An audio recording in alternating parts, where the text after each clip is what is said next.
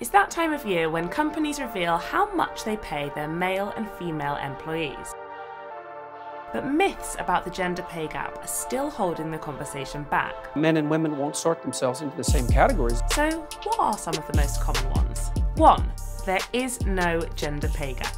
I'm hung up on the fact that these new pay gap measurements are incredibly misleading and frankly useless. None of them break down jobs, age, background. You have not proven any kind of gender pay gap. It is true that the information the gender pay gap reveals is limited.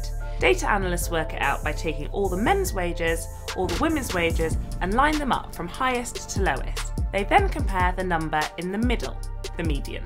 Last year, the calculation revealed that the median woman is paid less than the median man across all sectors in the UK.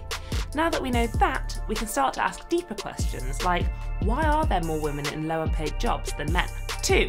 Women inevitably earn less because they have children. Men and women have different careers and different paths through the workforce. This might be a problem, but there also might be legitimate reasons why men and women might go off into different jobs and have different levels in their career. Some people admit that there's a gender pay gap, but say that women can't expect to earn as much as men if they're taking time out to have children. There is some truth here. The pay gap for full time employees between the ages of 18 to 39 is close to zero. It widens from the age of 40. That suggests that life events like having a baby impact a woman's progression. But does it have to be this way? Men also have children, but the impact on their careers is virtually non existent. That doesn't mean they don't pay a price though. Many men say, well, I have work and I support my family, but I see my family very little. I would like to be much more involved. So, what's the alternative? In other European countries, they have a dedicated leave period for just for dads that's properly paid so it reflects their salaries more accurately and then more dads take it they then get more involved in the business of raising children at home businesses get more used to the fact that actually men might take time out of work as well as women and that begins to change some of the perceptions of whether women are a risk in an organisation or not. 3.